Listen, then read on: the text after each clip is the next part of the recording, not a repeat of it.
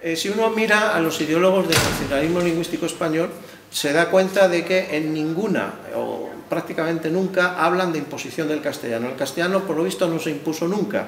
Ya desde su nacimiento era una lengua que no se imponía, sino que simplemente era una lengua, según algunos ideólogos, tan perfecta o tan adecuada que la gente eh, cuando la escuchaba decía no, no, esta lengua es la que me interesa porque realmente es la que me va a facilitar la vida mm, de, mejor manera.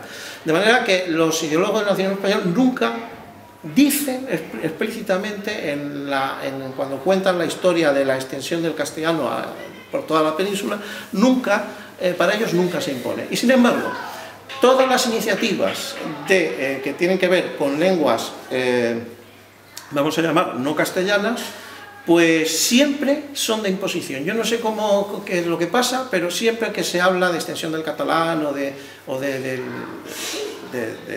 vasco, del gallego, siempre se habla de imposición.